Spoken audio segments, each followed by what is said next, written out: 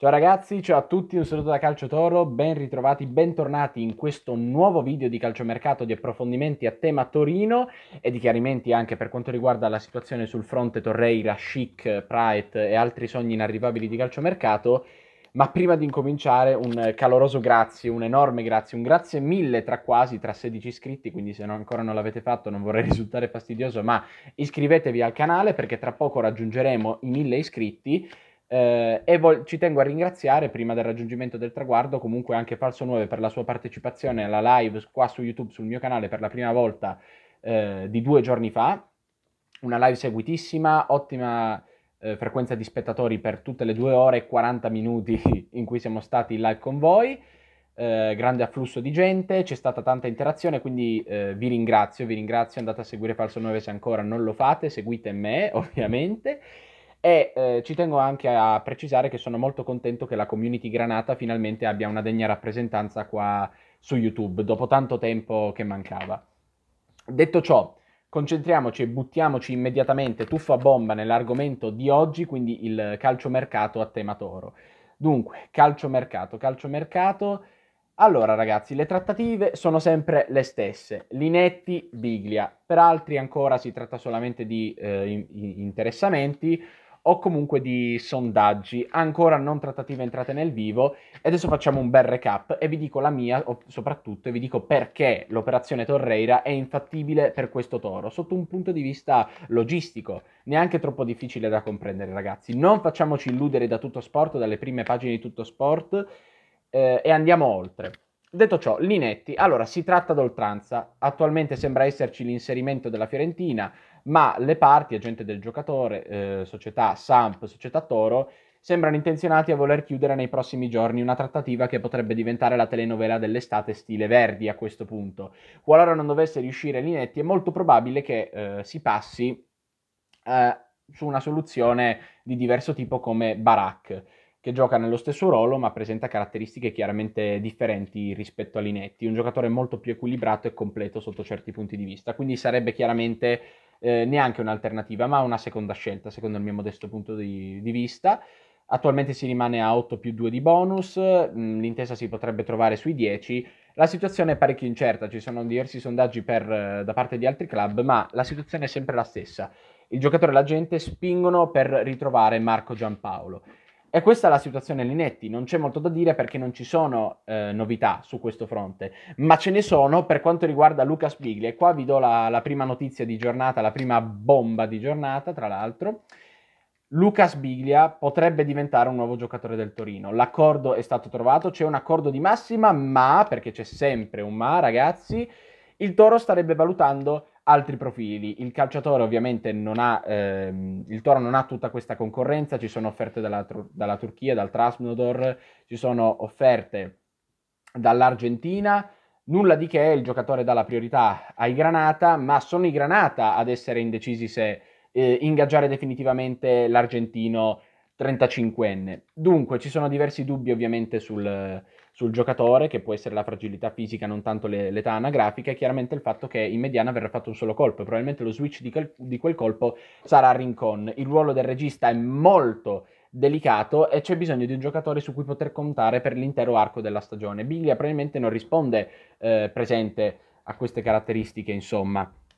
Perciò si vedrà, si vedrà alla fine se la società deciderà di eh, ingaggiarlo definitivamente oppure no, ma eh, notiziona, la trattativa è chiusa, nel senso che qualora il Torino decidesse di ingaggiare Biglia, domani eh, visite mediche e firma. Nessun problema, ce l'abbiamo in pugno, o almeno così mi risulta, e risulta eh, a diverse fonti, perché poi ragazzi non linciatemi se queste cose non accadono, io prendo da, da altre fonti che poi tra l'altro su Instagram, seguitemi sempre su Instagram, chiocciola calcio toro, cito sempre, eh, tra cui insomma, la, la, principale che è Torino Granata Official, gli amici di Torino Granata Official che saluto, anche se adesso non si sono ancora esposti a riguardo, ma da diverse fonti, eh, escluso Tutto Sport, anche se pure Tutto Sport ne ha parlato, l'accordo di massima è stato raggiunto, anche da fonti autorevoli estere, Argentina.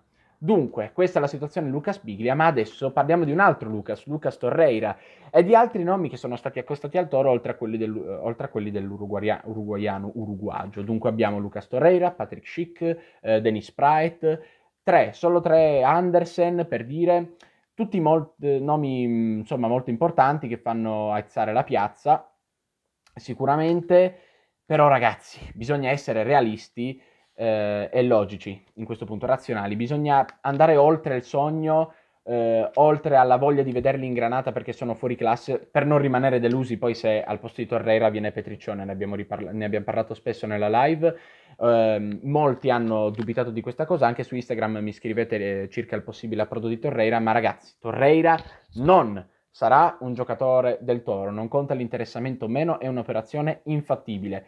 Primo, il giocatore prende più di 2 milioni di ingaggio, il tetto massimo di ingaggi al Torino è di 2 milioni. Avete mai visto un giocatore cui è stato offerto di più? No, è una politica forte, è un po' come eh, l'Atalanta sotto questo punto di vista, quindi se un giocatore percepisce più di 2 milioni, il Torino non lo ingaggia mai.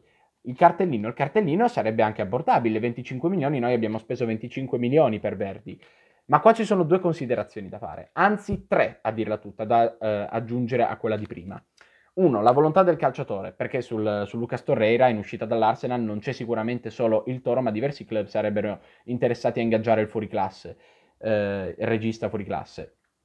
Detto ciò, chiaramente sicuramente eh, farebbe piacere al calciatore ritrovare una sua vecchia conoscenza, ovvero Marco Giampaolo, l'allenatore con cui è esploso definitivamente, ma francamente la vedo dura posso, possa scegliere eh, il Toro, considerando tutto il catalogo europeo che ha a disposizione eh, è un giocatore abbastanza richiesto e questo è un grosso problema per il Torino.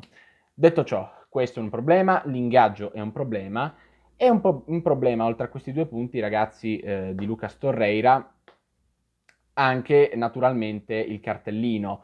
Sono 25 milioni, l'Arsenal chiede sui 25 milioni subito, cash subito, nessun prestito con obbligo eh, diritto di riscatto 25 milioni subito che di base non possiamo permetterci senza cessioni e soprattutto, altro punto molto, molto importante, le dichiarazioni di Cairo e Bagnati. Ragazzi, io vi riporto alla realtà, però sono sicuro che molti di voi lo considerano comunque come un sogno più che come un'operazione fattibile. Ci sta, ci sta, ma vi vorrei ricordare le, le dichiarazioni da parte di Cairo e Bagnati circa un mercato parsimonioso, un mercato dove non si spenderà tanto, un mercato fatto di opportunità e col- colpi low cost. L'ho ripetuto diverse volte nei miei video ed è per questo che operazioni come Lucas Torreira, Dennis Sprite, Patrick Schick eh, e Andersen non sono possibili. Non sono possibili per il costo dei cartellini e gli altri motivi che vi ho detto precedentemente. Quindi per favore ragazzi vi chiedo di non, di non ascoltare tutte le balle che propina tutto sport perché tutto sport ovviamente come quotidiano deve puntare a vendere maggiori, maggiori copie possibili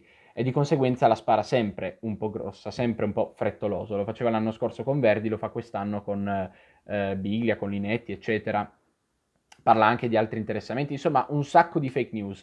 Eh, è un pentolone fatto di mezze verità e fake news, quindi prendiamo quello che c'è di buono e soprattutto facciamo un po' di, applichiamo un filtro, insomma, eh, leviamo lo schifo che viene fuori dal quotidiano e eh, su Torreira queste sono le mie ultime parole perché non spenderò, non aprirò mai più un argomento su Lucas Torreira. E questo era il recap di calciomercato, ragazzi. Altri nomi, altri interessamenti non sono usciti. Sembra completamente smentita la pista che porta a Anthony Barak, ma sono sicuro che in caso di eh, insomma, eh, fumata grigia o nera con la Samp per Linetti, Barak potrebbe diventare una possibilità concreta. Detto ciò, iscrivetevi al, ca- iscrivetevi al canale, manca ancora poco ai mille ragazzi, lo ripeto. Mettete like al video se vi è piaciuto, iscrivetevi, insomma, seguitemi anche su Instagram come ho detto precedentemente. Sempre Forzatore, ci vediamo a un prossimo video. Ciao ragazzi!